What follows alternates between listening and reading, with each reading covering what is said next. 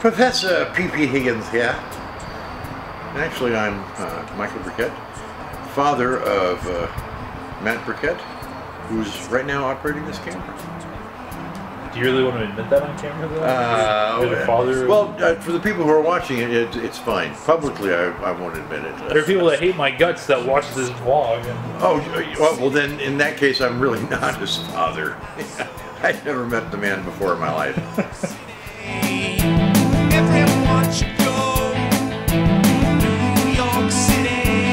was a, big fan of, uh, uh, uh, well, actually of all movies. I went to the movies as often as I could. Even all throughout school, I would skip school and go to the movies, spend my lunch money. Uh, and I even saw the, the original Americanized Godzilla starring Raymond Burr in, in movie theaters. The first one that I really loved, felt absolutely fell in love with, and just had a great time with, was Destroy All Monsters. And during the 60s, there was a really popular trend of doing these movies with all-star casts. And when I when I say all-star casts, I mean I don't mean like the top five or six people. I mean like 40 huge stars in, Right. in one motion picture, like the greatest story ever told. You know, that there'd be a centurion on screen for a minute and a half, played by John Wayne. Destroy All Monsters was like the uh, uh, the Toho version of you know of, of those movies. You know, Yeah. with uh, all the monsters, you know, all of them, you know, the, the good ones and the bad ones, and some of them, frankly, uh, you know, I, I wasn't thrilled with, like uh, uh, Godzilla versus the Thing. I knew, I remember this. I knew before buying my ticket to the Godzilla versus the Thing. I knew, well, the Thing is going to be a loser of a monster, because uh, that's why they're. That's why they're not telling us what it is. you know, and you go and it's Mothra. Mothra, I never thought was very exciting. You know, a giant moth. Ooh.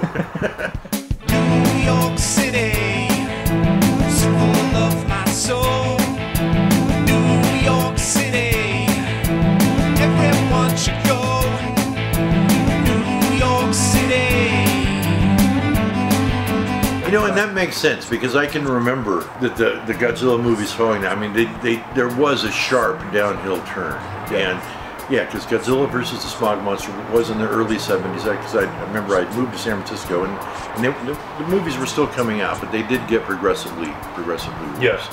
And and I definitely would say that for, uh, certainly for me the peak was uh, Destroy All Monsters. But I remember it very vividly because it was just the colors were so bright and uh, um, and the music was really was just perfect, just just really nice.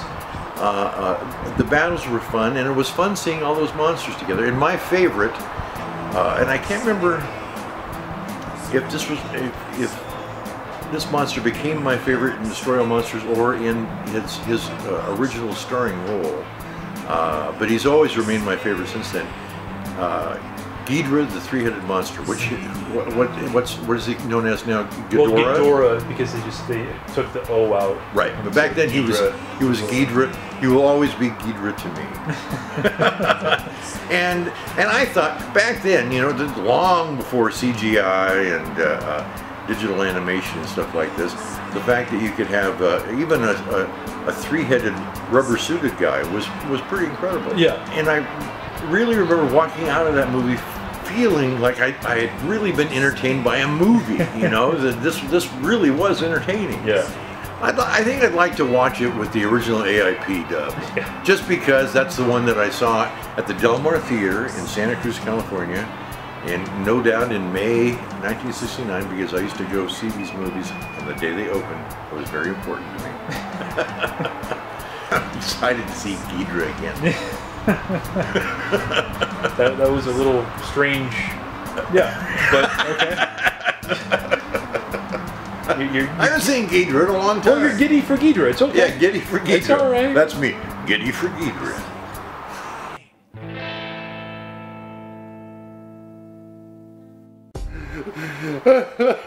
I forgot. Ghidorah, the three-headed monster, dies. He came back two movies later, oh, that's right. or maybe not two movies, but two. So maybe he was just badly injured. Yeah. Okay. yeah. I You can never keep a good monster down. You I. I feel better. I feel better. Yeah. that was that was a whole lot of fun watching that.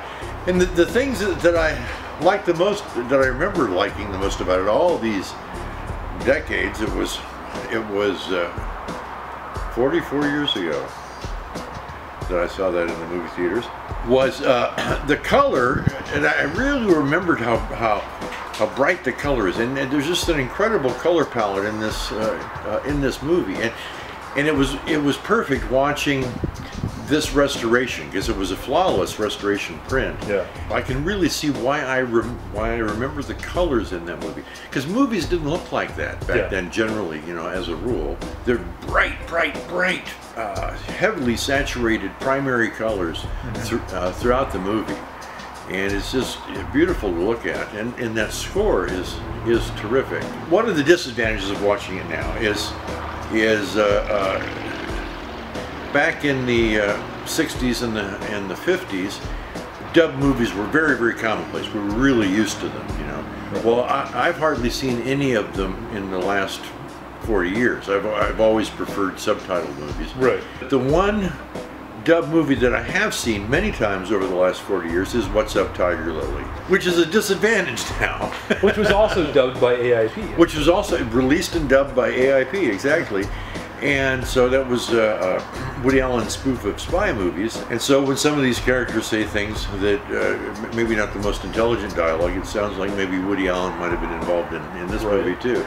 Uh, there's there's one line that I remember seeing seeing it. I remember quoting it to people, and that is, uh, uh, now a special report: Godzilla is invading New York."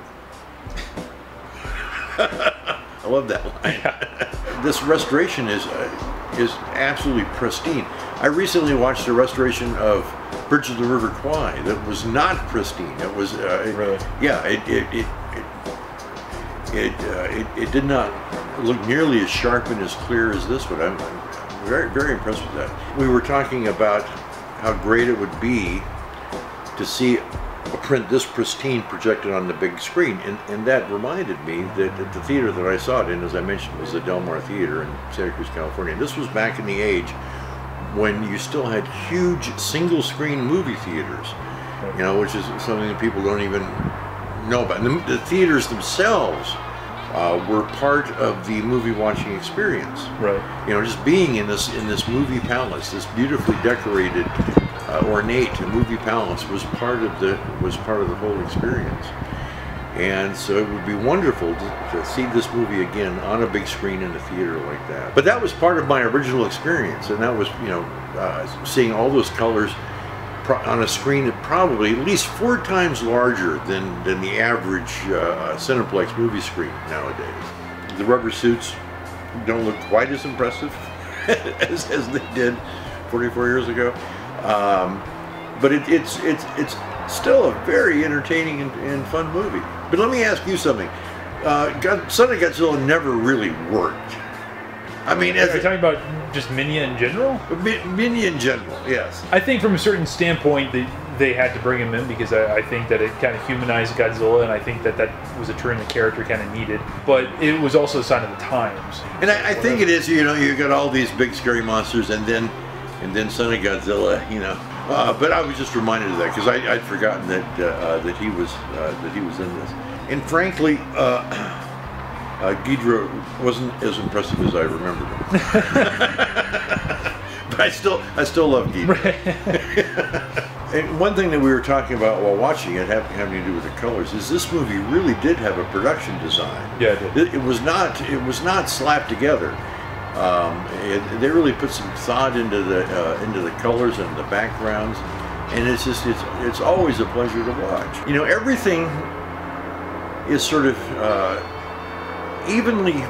It, it looks evenly fake, which creates its own reality. Do you know what I'm saying? Yeah. As, a, as opposed to movies where the uh, uh, the foreground looks real and the background looks fake. Yeah.